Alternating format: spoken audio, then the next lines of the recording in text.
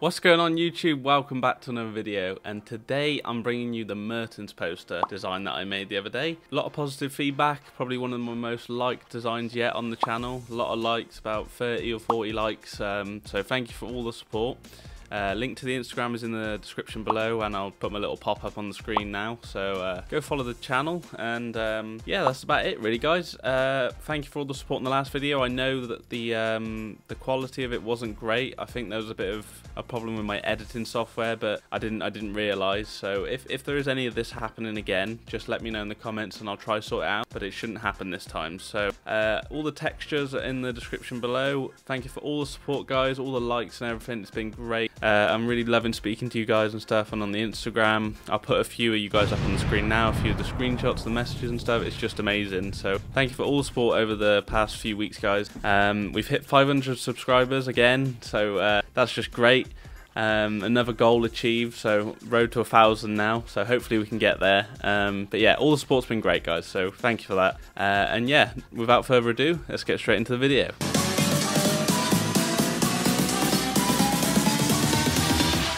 Guys. Welcome back. So this is the design we're going to be creating today. Uh, you will have already seen it because I'll put it up on the screen but just wanted to quickly show you like there's there's not actually that many layers that go into this design. It may look a lot but a lot of it's just textures again layering up like we've done previously. So yeah let's get straight into it. So what you're to need to do first is create your page. So it's the same as usual standard 1080 by 1350 for an Instagram uh, uh, for an Instagram upload. I'll just show you that quickly again. Canvas size and then pixels 1080 by 1350 and that's your background. So change that to white first thing you're to need to do is create a new layer. So if you click the plus down here on the right and you'll get your new layer and then you need to go to edit fill. Once you go to fill you're to be presented with this little thing here. So what you need to do is click on the color and then click again and then you'll bring up this little menu here so now you can pick the color of the background. What we need to do is change this to a light gray so pretty close to the background but not so it's white because you want a little bit of gray in there. So somewhere about here so I'm going to choose E2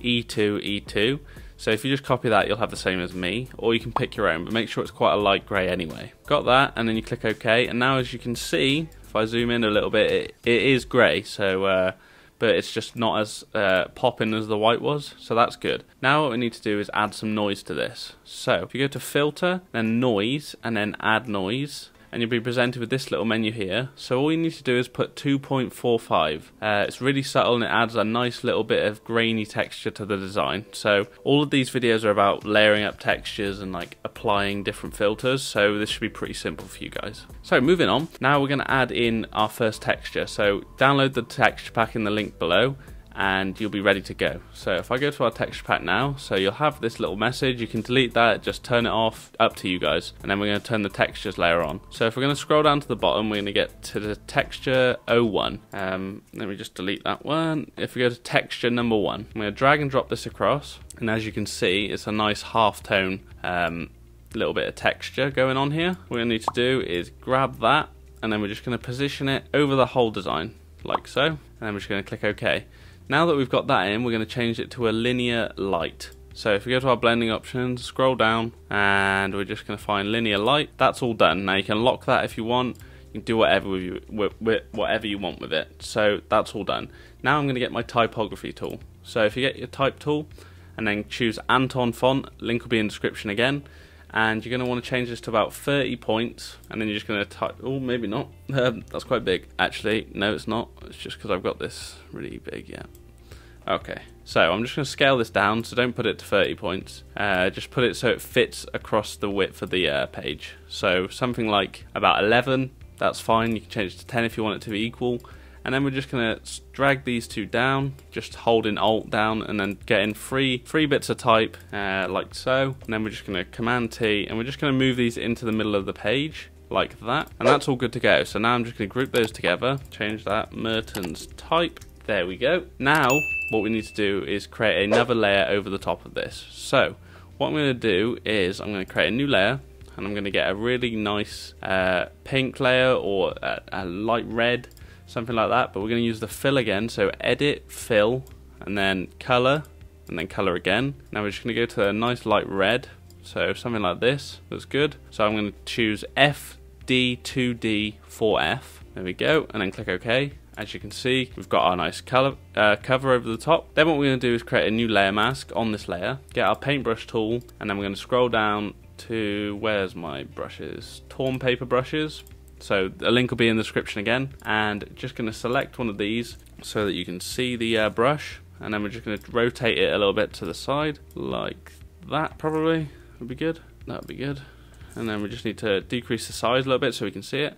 And then just going to make sure you have black selected. And just like that. Simple.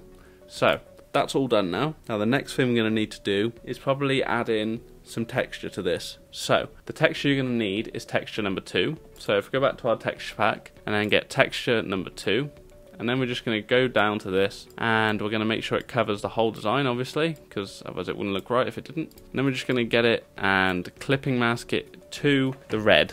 Once you've clipping masked it to the red, you're going to need to change this using blending options. I'm going to use my blending options and I'm going to go all the way down to something like divide. That looks nice.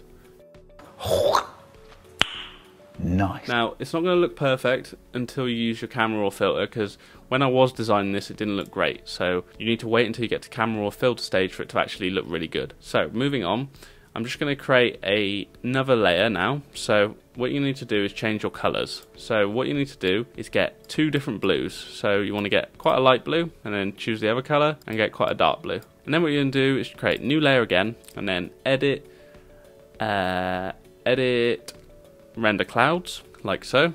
Now I've done this before guys, it's just going to be a liquify process. So if you want to skip through this part of the video, go for it. So liquify and then we're just going to quickly go around and make a nice little bit of shapes go on the design like so. Pretty simple, you guys know this anyway. So there we go. That's done real quick and nice. And we're just going to leave that there for now. So later on, we're going to need to layer mask this out. So I'm just going to create a new layer mask for now. And then I'm just going to be done with that for now. The next thing we're going to need to do is get texture number three. So texture number three is going to be this uh, design here. So I've already got this done from like the previous design. So what I need to do is just delete this layer mask. So what you're going to have is a image like this. So it's going to be like this and you're going to need to change it to lighter color. So if you scroll down your blending options again, lighter color, that looks really nice. So now what we're going to need to do is change this and layer mask this side out. Uh, get a soft brush probably be good. Um, completely up to you. You can use a hard brush as well if you'd like. And then what we're going to do is just paint in the sides here. So as you can see, got a nice little liquify going on there, haven't we? But now what we're going to need to do is also layer mask this side out so we have the red coming through like so. Now can you see what I mean? The layer mask on the liquify layer is to get the red through, and the layer mask on the texture layer is to get the blue through. In essence, you want to make sure that your uh, design is quite, your brush is quite small so you can get right to the edges. But then again, you're going to want to make sure that the red's coming through too. So completely personal preference really what you decide to do here guys. But I'm just going to try and make sure I get as much red coming through as well as the uh, blue just to make it look good. So if we just go back and look at our previous design, as you can see here, you can see the blue coming through. So what we need to do is um, we need to just layer mask uh, this this texture here. So got a nice blue there. Um, and yeah, moving on guys. Okay guys, welcome back. So as you can see from our previous design, you can't see the text here. So what we're to need to do is use a blend if. So if you double click on this layer and then you're going to get your blend if options here. Then what you need to do is hold alt and you're just going to drag them across. So you can sort of just figure out what works best. So now as you can see as I've done that through the design, you can see the text through it obviously. So uh, if you don't want to see as much, you can do that and make it a bit harsher. But yeah, that's what we're doing here. Basically, uh, what we've done is create a nice little gradient for the design, and yeah, it looks pretty. It looks pretty good. Uh, just just basically fill it out as you see fit, and obviously as you would like it to look, and and you should be good, guys. So again, just layering up little bits, getting the bits of texture you think should should be coming through. So I'm going to make sure all the white edges are coming through, but obviously you want to make sure that the blue is strong as well. The next thing we're going to do guys is add in some imagery. Now this is going to be quite a simple task, so if you just go to your textures here, you can turn them off for now turn your Mertens images on, open up the package, and then get this image here. Now we're just going to drop this in the middle, make this as big as you like, probably quite big because it's going to be the centerpiece of the design, like so. Then we're going to scroll down here, and we're going to select this layer here. So what we need to do is load this selection. Now as you can see, I have loaded this selection and it's going to cut out the middle of this image. So if I just click layer mask now, you can see the middle of it is cut out. So I want to undo that. I'm going to go Command Shift I to switch the the uh, selection and then it's going to take off his head. Now we don't want the bottom bit here coming through like that so Command Z that. Just want the top of him. You're just going to make sure that you get his head coming through like so and make sure none of this is coming through. Make sure you use quite a small brush because you don't want to make sure the bottom comes through. You just want to have a nice image on the top like so. That's all good. Now what we're going to do is get the next image. So what I'm going to do here is uh, drop him in, and I don't. I'm going to do some shadowing and stuff, but we don't need to do that yet. Uh, make him fairly big, so you can see him walking in. Pretty good. That's good to go. So moving on, guys. Okay, guys. So you want to get your type tool again, and we're just going to type in uh, we're going to get a font called Billionaires. What we're going to do is you're going to have to lock your type here at the back, otherwise you're going to keep selecting it. You're going to type Mertens again, but this time we're going to choose a font called Billionaire, and it's going to be quite a, uh, it's quite a a weird font, I could say. And we're just going to make sure this is at the top, otherwise you're not going to see it, like so. And we're just going to rotate it and put it up the side. What you need to do here is increase this. And now this is called the kerning. As you can see, as I increase it, it makes the fonts go further apart. So that's what we need to do there. So you can leave that there or you can put it below the uh, two images like so. But that's that's how that's going to be for now. And now what we need to do is high pass the images. So I'm just going to select my Mertens image, Command J, and then I'm going to go Filter, Other, High Pass, as we did in the previous videos, just to give it an extra bit of uh, depth and stuff. And then same with the standing one, Filter, other high pass and then overlay it like so. There we go. Now what we need to do is add a shadow for him. So if we just create a new layer below him, get our paintbrush tool, make it really thin like we've done before. You might have to angle this one a little bit, otherwise it's not going to look too great because he's sort of standing in an off angle, as you can see. Nice little black, there we go. And then if I just get the brush again and just sort of tilt it by his feet. Now as you can see, he's got a nice little shadow there. That's worked well.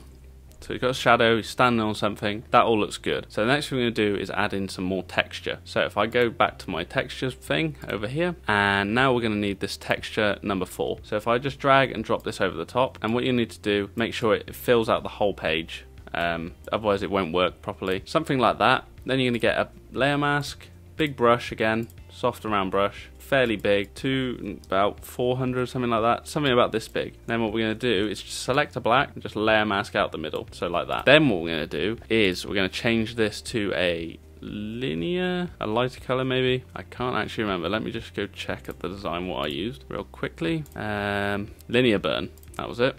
So go to linear burn, that looks really nice. Now we've got the texture in the middle, so if you don't like it, if you don't like how much you've removed, you can obviously go back in, paint it all back in so it's not too strong on the design, but obviously if you like how much is on there, then leave it as it is. But obviously, if you want the middle gone, but yeah, that looks good, guys. Having said that, uh, you can also change the color of this this uh, Mertens here, so it um, so it basically stands out a bit better. But yeah, that's how it should look. Now what we're going to do is add two more textures, and then we're pretty much done. So if I just go to my texture book here, get this pavement, and I'm going to drag and drop that over the top. And again, just going to clear overlay that. And what we're going to do with this, we're going to change this to color dodge. Adds a nice little bit of texture over the top, like so. It's just like another grainy effect, basically. And then what we're going to do is we're going to get the paper as well. And we're just going to drag and drop this in and this is just going to be a simple multiply effect. Now you can have this any way you want, but I'm going to make sure that it doesn't cover his face. So I'm going to get a layer mask. Then I'm just going to paint over where his face is in black. Um, just get rid of it off him so it doesn't take away too much from him as a design. There we go. That looks really good. Now the only thing left to do now is basically a camera raw filter. Now as you can see this is quite a simple design. It's a lot of textures, a lot of layering up. Now I've done my blue on the right here quite dark so what I'm going to do is try to change that in camera raw filter but I suggest to you that use a lighter blue when you do this because it will just make the design look a lot better. What we're going to do is we're going to group it all together, uh, unlock these layers and group that. Oh, and that one. Okay, select them all now, make sure they're unlocked. Then Command Shift Option E to make a screenshot and then filter, camera raw filter. Now what we're going to do is just go through and change some colors exposures, contrast, all the things that you would usually do um, when you are designing and when I've made posters before. Um, but yeah, hope you've enjoyed this video guys. Um, as you can see, it's quite simple to create stuff like this. It doesn't take too much time. It's not too complicated. But yeah, that's what I'm trying to get you guys to understand that if you, you actually watch what I'm doing and you definitely use the camera raw filter, there'll be a link in the description to a video on how to use it. It will really enhance your designs because as you can see, if I turn this on the side by side, you can see that it's already changed from a okay design to a nice design. So if you go to curve, add in some shadowing, again, and then detail you really want to use detail sharpen the image up noise reduction you can do a little bit and color noise and then here I'm just going to lighten up the blue so like that so as you can see it just looks a bit nicer and it doesn't get overwhelming um, but yeah, add some nice reds in, something like that. I think I kind of like this design a bit better than my first one, you know? The joys of YouTube, you get to do it all again. So guys, last thing I'm going to do is add some grain, vignette. I'm not telling you what to do on the camera raw filter because this is your own design. You don't need to copy me for this, but you can if you want. I, I'm not going too quick, so you should be able to follow along. But yeah, this is your own part. You can change this and make it look how you want, and obviously tailor it to the images you're using unless you're using the ones I've used. Um, but yeah, so that's all that done. If I if now if you can see the resemblance, see it looks a lot better, a lot cleaner, lots more, lot more crisps, and uh, yeah, if I click OK there, there's our design. looks a lot better than before. Let's have some explosions back back. There we go. I hope you're enjoying the explosions because I'm enjoying using them in the editing. But yeah, guys, thanks for watching. Uh, I hope you've learned something from this design. Now, in the future, I am moving house. So next week, I will be moving house. So the videos might become a bit sparse. So I'll keep you updated on the Instagram. So make sure you follow there and on the Twitter. Um, and I'll let you know what's going on guys but hopefully it shouldn't be too long until the next video but I'm trying to record a few so I've got some in advance to edit. Uh, but yeah guys hopefully you've enjoyed this. Hope you've uh, learned something and let me know in the comments what you think of the video and what you want to see for the next video. Um, but yeah guys thank you for watching and I'll see you in the next one